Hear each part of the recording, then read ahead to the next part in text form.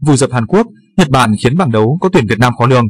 Nhật Bản có chiến thắng, rửa mặt khi vượt qua Hàn Quốc với tỷ số 6-0 ở lượt trận thứ hai bảng D vòng chung kết Futsal châu Á 2022. Chiều ngày 30 tháng 9, kết quả này khiến cục diện của bảng đấu có sự góp mặt của đội tuyển Futsal Việt Nam trở nên khó lường hơn. Tham vọng vô địch của Nhật Bản đã bị giáng đòn nặng nề khi thất bại một hai trước đối thủ được xem là yếu nhất bảng D. Saudi Arabia ở ngày ra quân vòng chung kết Futsal châu Á 2022. Thế nên việc chạm trán Hàn Quốc là cơ hội để đội bóng xứ sở Hoa Anh Đào lấy lại thể diện cùng cơ hội vượt qua vòng bảng.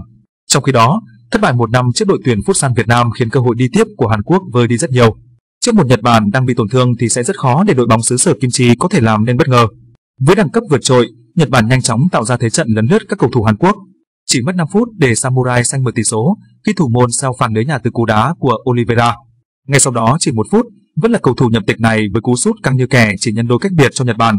Mizutani là người nâng tỷ số lên 3-0 ở phút 17.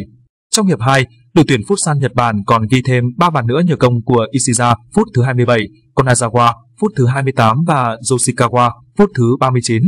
Chiến thắng đậm đà 6-0 trước Hàn Quốc giúp Nhật Bản tạm vươn lên chiếm ngôi đầu bảng của đội tuyển Futsal Việt Nam. Đội sẽ chạm trán Saudi Arabia vào lúc 18 giờ hôm nay.